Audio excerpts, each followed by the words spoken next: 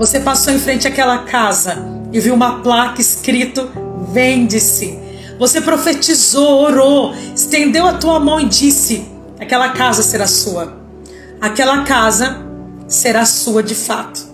Eu vejo Deus te abençoando para dentro de algo próprio. Manda te dizer o Senhor.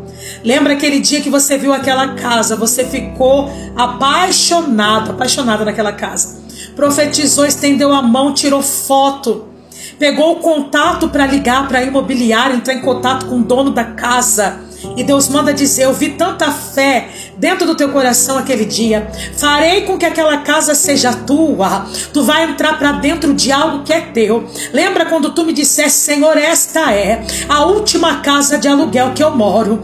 Deus manda te dizer que ele assinou embaixo aquela casa tão linda que você viu, gostou, profetizou e disse: Só por Deus para eu conseguir.